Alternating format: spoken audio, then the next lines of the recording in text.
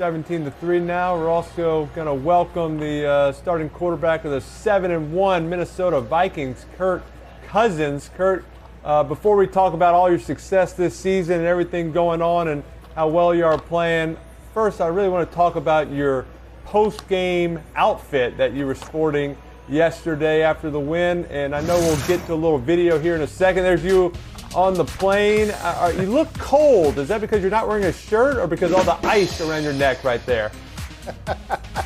I think a little of both, Eli. We uh, really started coming back from our game against the Saints a few weeks ago, coming back from London. You know, we had the eight-hour flight home, and they kind of turned first class on that flight home into a nightclub. And so uh, uh, before I knew it, I had Christian Darrisaw's chain around my neck, and everybody was taking photos and posting them on social media. And then the next away game, they – they uh, we beat Miami and they were throwing even more chains at me and and it turned into a Halloween costume here in Minnesota and then uh, this week they're like, well, how do we top it? And I'm sitting there like, I don't really think there is a way to top it. And they go, take your shirt off. So next thing you know, I got my shirt off. I got Za'Darius's watch on my wrist, and they're telling me all the dance moves I need to do with my hands. So uh, if we keep winning these away games, I don't know where this is going to go, but I'm kind of nervous of where where it could end up. I hope you have What's a speedo ready. hey, we'll take it. We'll take. I mean, and Kirk, now Adam Schefter is imitating you on the pregame show on Monday night. I mean, you're starting to trend here. Oh, wow. Geez. No, we don't have to show that. We don't have to actually it's, show that. Turn it off. talk about it. Please turn it off. I don't want to watch. I can't watch that. He even had the blue light blocking glasses that I wore because uh, I put on those blue light blocking glasses to try to get ready to go to sleep when we landed in Minnesota, and Schefter even had a had that to complete the ensemble. Oh, there we go. Who wore Ooh, it best? It was right the ice. There. I'm going with I'm going with Cousins. I'm going with Cousins all the way. The glasses. Easy. The glasses did it right there. That's like completes the look for sure. Hey Kirk, hey Kirk, you coming on here? The Saints finally get some offense, so we appreciate it. Hey, you guys are rolling. You talk about these plane rides. These plane rides are fun after a win. First place in the NFC North. Big comeback win yesterday. What's working so well for the Vikings this year? You know, it's really been an interesting combination because, uh, uh, you know, one game it's special teams making some big plays for us, giving us field position, making big kicks. Uh, another game it's defense, you know, great pass rush, creating turnovers, giving us a short field. And another game it's, you know, Justin Jefferson making some big plays or Dalvin Cook going off for a big game running the football. So it's really been a real team effort to get to 7 and 1. I really think we haven't played our best football yet. Um, so there's still a little more out there for us to go get, but um, great to be able to, you know, dissect these games and talk about how we can be better after a win. You'd much rather have those conversations after a win than after a loss. No, no doubt about it. Eli, they went with Hill at quarterback right there. Put Andy on the sidelines. Nice little throw there on the deep hook route. Oh, there's a little Lamar zone read. Kirk, y'all have that play in your playbook? You know, we've done a little zone read through the years. I think if you if you do it infrequently enough, it can be effective and you can catch people off guard. But uh, I'll tell you what, I remember when I came into the league, and obviously I was backing up RG3, and there were a lot of successful running quarterbacks. I remember thinking, is the drop back quarterback, the Peyton Manning and Eli Manning, if you will, is that going to get phased out of the league? I said that to my quarterback coach, and he, he looked at me and he Please said, no. Kirk, no matter what skill set you have, no matter how much athleticism you have, you have to be able to drop back, go through a progression, and throw with accuracy. And if you can do those things, then yes, being able to run a 4-3 and make people miss is a huge skill set to have. But at the end of the day, it's always going to be about dropping back and, uh, and throwing with accuracy.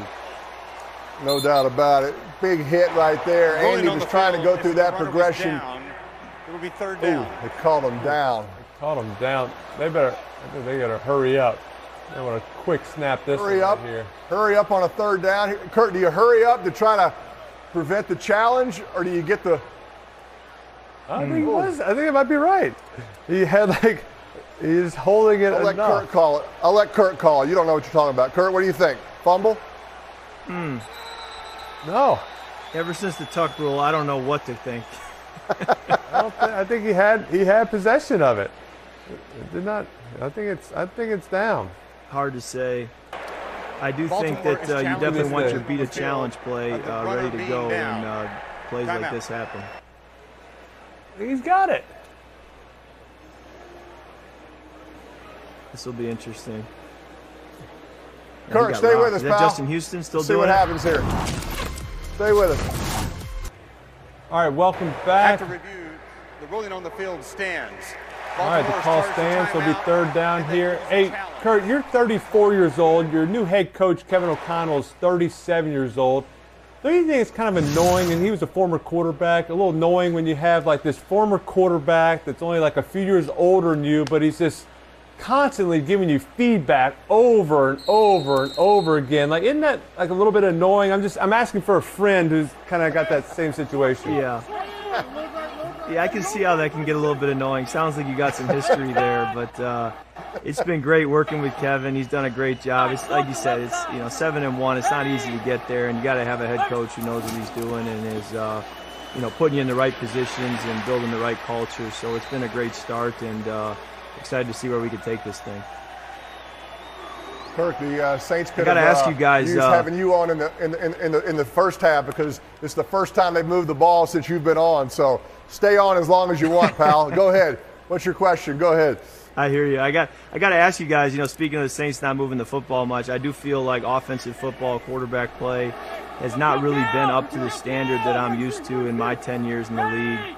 Uh, now in year 11, it just seems like this year has been a step back, and I've kind of been asking myself what to attribute that to. I didn't know if you guys had any thoughts that you're seeing around the league of how teams are defending us uh, quarterbacks, or what you see as to a reason maybe why offensive football isn't quite at the level it's been in the past.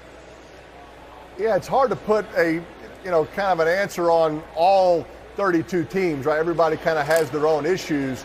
Certainly, you know Minnesota is rolling right now. You know the Bills got beat the other day, but their offense is playing good. So it's still kind of team by team. It does seem like defenses are kind of ahead of some offenses right now with some of the things they're doing.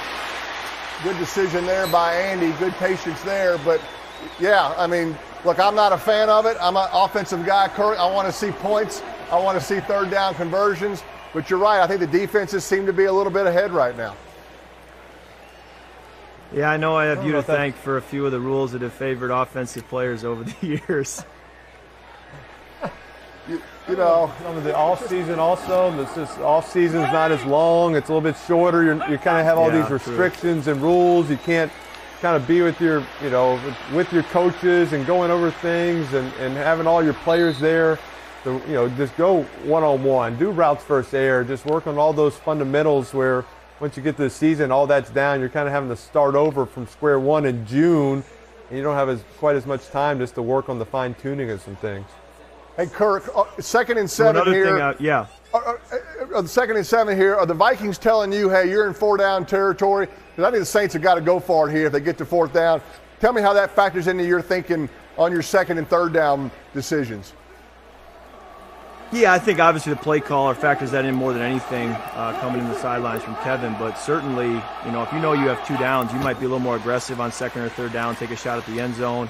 Um, you also may, you know, run the football here and put yourself in a, in a manageable third down situation where you basically get two short yardage plays now with third down and fourth down. That's what happened. when We played the Ravens last year. It was so hard to get them off the field because when they're in third and four or less, they're just going to treat it like they've got two straight third and short plays and just go for it on fourth down. And it was hard to get the ball back because of the way they can just pound the rock with their fullback, tailback, and their and their read game with, with Lamar.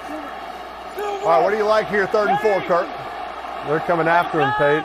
Yeah, it looks like the. Ravens are got everybody up on the line of scrimmage, potential for single high man or Zero, cover zero. Golly. free runner. Now you're the runner goal, I guess, unless they feel they got to get points. It just looked like he didn't think. So that guy cover was zero. That brings up a question I have for you guys. I've noticed a lot more What do you cover got? zero as well around the league this year. I feel like defensive coordinators are not afraid to bring zero at any time.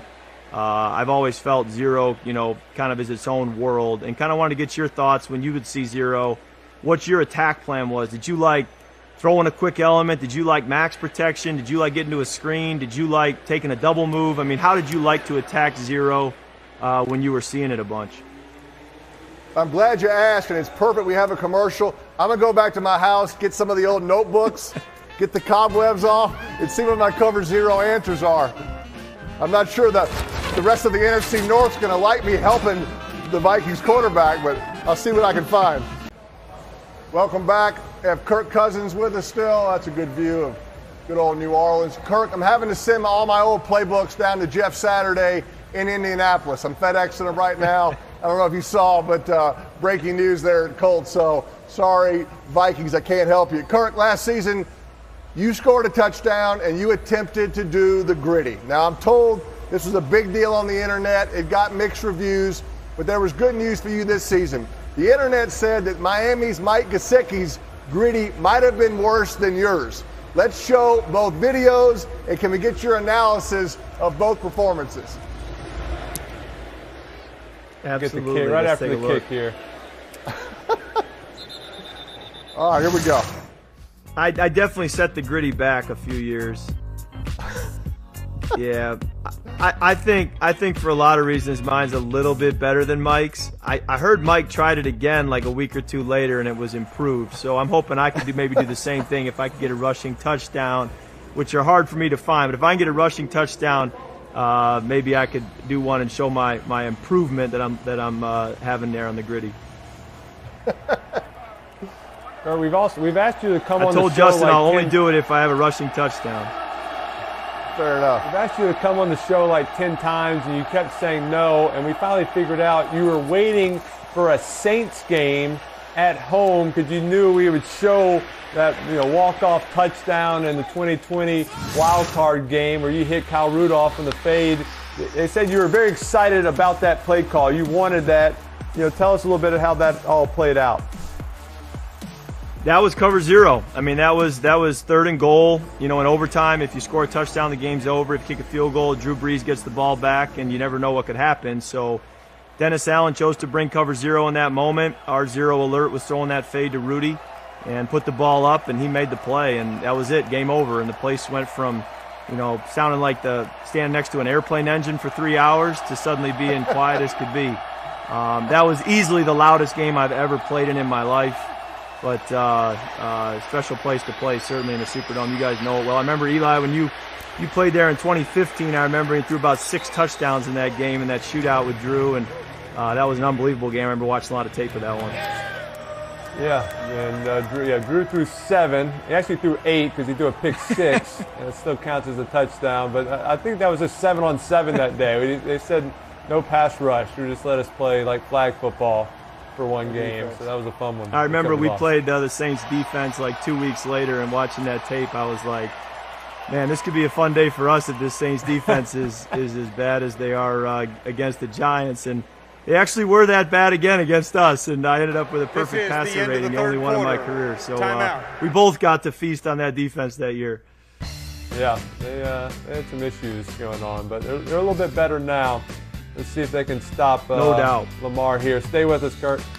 All right, welcome back, Kirk. I got to ask you about some of your catchphrases. You obviously, you know, kind of the one that's most known is the, you know, you like that, and you did that in Washington 2015. But I got to say, the other one that I, I feel like it gets a little bit overshadowed. The uh, ooh wee, you know, that uh, you've used. And let's listen. Let's listen right here to both of them. Ooh wee! Ooh wee! Ooh wee! Didn't get as much love. That didn't get quite as much as love. Which one do you like better?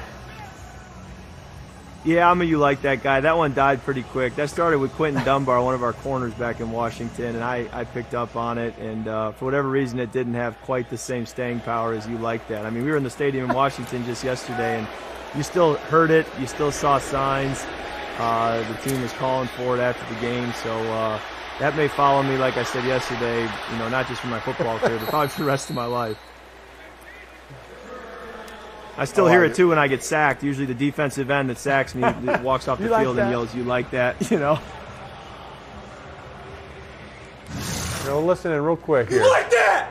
You like There that? it is. Who are you talking to? like that? Who are you saying that to? You like Just the that? media? That was uh, that was a reporter for the local uh, NBC affiliate that covered our team, and he was a great guy. Uh, but uh, uh, you know, I there were some people, and rightfully so. I hadn't been playing that great for those first six games, but there were some people who kind of felt the the Kirk Cousins experiment should be over in Washington. and uh, we had that big comeback win when we were down 24 nothing, ended up winning 31-30, and I kind of felt that, you know, walking off the field, walking through that tunnel, that hey, you may not like me, you may not want me to succeed, uh, but what just happened on the field right there, you like that. and it really wasn't a question, it was a statement with an exclamation point. I'm not really giving you the choice to like it or not. I'm telling you, you like it. I love it. I love it. All right, we're in the fourth quarter. Kirk, I know you got to go to bed. Keep it going, buddy. Proud of you. Yeah. Good luck the rest of the way. Thanks for being a part of this, man. Really appreciate it. Thanks, Kirk. No, always an honor to connect with you guys. Thanks so much for what you've meant to football and beyond, and uh, thanks for having me on. Appreciate you guys. All right, buddy. Good luck.